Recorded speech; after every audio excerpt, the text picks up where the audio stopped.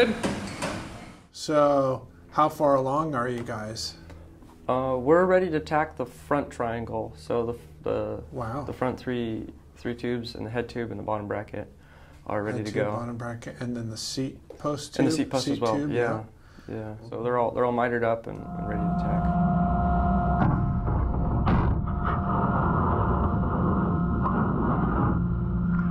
Okay, so next up we have all the pieces of titanium ready, and we're going to just do a last check in the fixtures to make sure that everything fits perfectly, and then we're going to go ahead and drill the purge holes in uh, these bits um, so that the uh, argon gas, the purging gas, can fill th- the uh, the entire frame.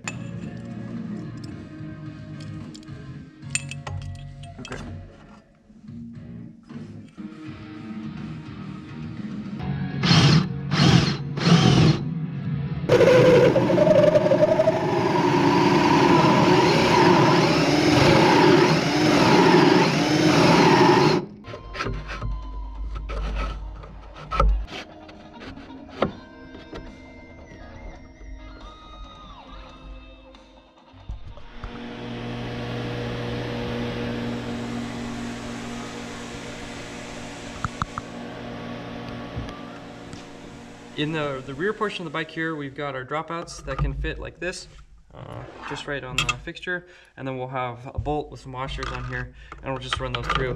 Pretty simple. This will uh, get us the proper spacing. We're going with a 135 axle, so um, that, that'll take care of that for us.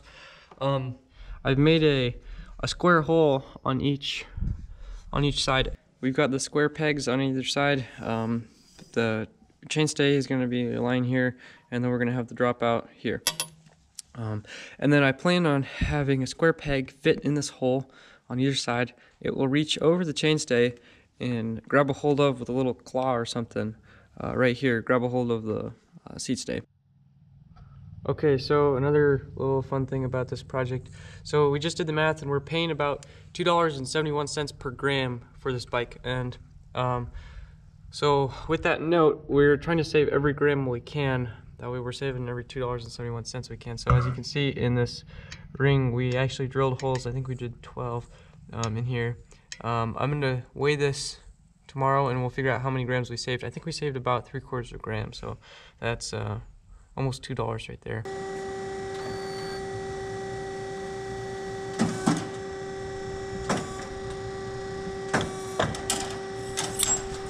Here's another update. Uh, we've just finished welding on the stays here, as you can see. Um, next we'll be doing the seat stays. Also, we're gonna talk about how we did the mitering, some of the process. You might be wondering. So we used these pieces, these 3D printed pieces. They're supposed to imitate the dropouts here. Um, so they've got this cutout here, similar to this. Um, and then they've got the cutout for where the stay will end up. So we can stick the stay through, through here, and then scribe it. And that'll give us the line we can work off of for the filing. Uh, and it works pretty well. That's what we've been doing the whole time uh, for every one of the joints. Um, so next we'll be doing the seat stays. Uh, as you can see, we've got uh, a different type of sleeve. Um, it has these flat portions on here so we can set it down and keep all the bends in plane, in the same plane. Um, so in the same plane. Um, so we'll just trace along that with a scriber and that'll give us our file mark. This we did for a few reasons. The biggest reason was because we because we had these custom bent, the best way to do it was to 3D print what we wanted and then measure it with using reverse engineering principles, um, and then we could convert that data into um, into a language that the bending machines could use to reproduce our part. Uh, we got it pretty close. Um, you can see the curve we wanted isn't isn't what exactly we got, but it should be fine. Uh, we'll have clearance for the tire, and that's what's important, along with the endpoints. The endpoints are the same, so. So here the extra portion of the dropout where it's not really needed the strength, we're going to Dremel that out to make it lighter and uh, more clean looking. Yeah, it'll save maybe 30 grams total, doing on both sides. So you can see we've got a little bit extra there. Um, so we usually like to start the mitering process with this larger file. I have no idea what the curve on it is. It kind of changes as long as, as uh, along its length.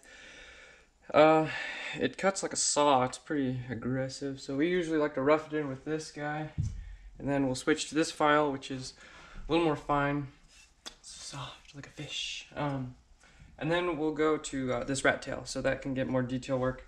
Uh, we've got some sandpaper we will use at the end, um, and the drum wheels we'll use to usually just get the chamfer. We use this to uh, chamfer it.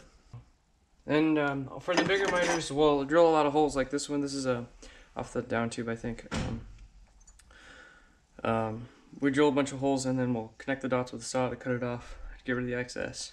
Uh, it looks like a pretty cool torture weapon.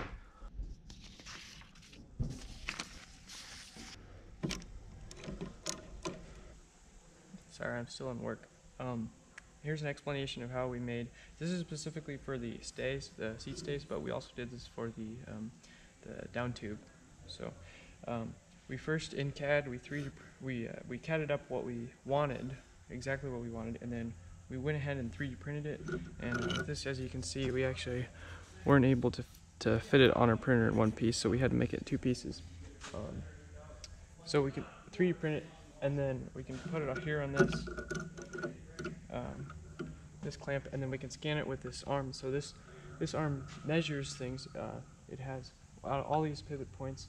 It can calculate where in space uh, the, tip, the this end is, and it uses a laser um, that goes in between the these two forked uh, forked pieces, um, and as as a as a laser is broken, it reads where that point is in space. So with that, you're able to scan the part. You scan the straights.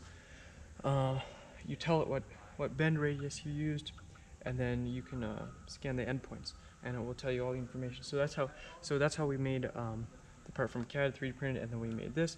This gave us all the correct information. You can take it from the machine uh, with all this information, and you send it to over to the bender, the bending machine, which is right over there.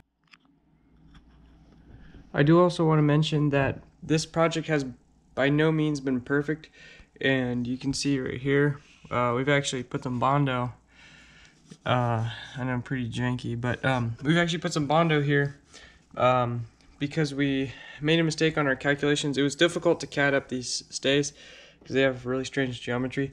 Uh, so we ended up having to move them out from our original design. And you can still see here that it's pretty close to the edge. The weld actually creeps right up to the to the inside surface. Um, so we we did have to do that. In the end, it did work, but if we did this again, I would like to not do that. So just want to point that out. So here are these teardrop pieces I've made out of bits of tubing, and they're for internal cable routing. And this one will go about right here where the cable will come in the frame and then it'll come down the top tube through the purge holes here in the seat tube and then down the seat stay and then it'll come out somewhere around here with this smaller teardrop piece.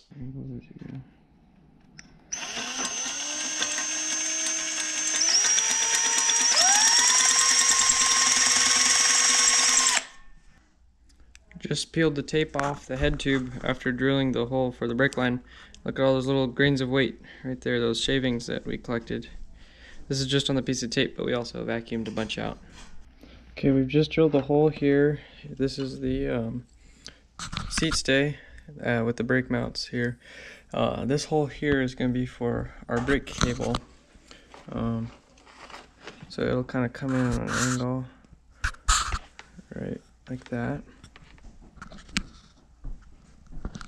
And we've got a little teardrop piece right here that will fit over the hole just to add a little bit of strength for the strength lost in the in missing material. All right, so we're finally on the home stretch here. We just finished welding up these stays here, these seat stays. Uh, they came out pretty good. Um, we've got uh, this piece here, this little teardrop shape to help reinforce for the internal routing. As you can see, we've got our steel cable um, in here. Uh, this will be our pull line so we can come up to the top and pull through uh, our actual brake line. We're probably going to be doing this next. Um, never internally routed a brake before, so this will be a new experience along with a lot of this stuff on this bike. um, we did have to change something with the stays, so you can see we've got pretty close tolerances there with the tire. Um, there's my finger. So we actually ended up uh, denting, putting a putting a dimple in these tubes uh, to get some more clearance. Um, we've got we've got a fairly generous amount of tolerance down here. Um, oh yeah, and then just to show that we actually made this bike, we have these rubber bands on here. These were used to hold down um, the seat stays for attacking. Um, and there's no way this rubber band could have gotten on here um, after this was welded, so it just goes to show. I don't know how long we're to leave these on here for, but it's kind of cool. Um, so we've got our brake mounted here. Um, this is the these holes here for the bosses for the brake are the first parts of this project um, that we had cut into a tubing without doing it by hand. So these were actually machined. Uh, we had um, the machinist at my work. Uh, he was able to give us a hand, and um, he just punched two holes, two, uh, two slots for these. So this is the only thing. Every everything else we mitered by hand. Every every part on here. Um, this was by far the hardest up here at the head tube, um, where the down tube came. We had to hollow out the down tube, and then it mated with the head tube. This was the hardest. It, it took several days to do that. Other than that, the uh, right up here was the second hardest. It was difficult to get the seat stays to line up. Where we're taking weight savings to the next level, at least trying to, is um, in this fork here. So normally on a fork you'd have the two studs coming out here that mount the front brake.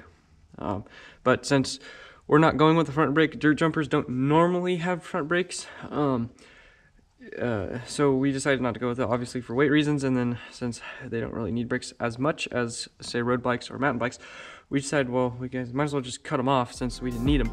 Um, so you can see here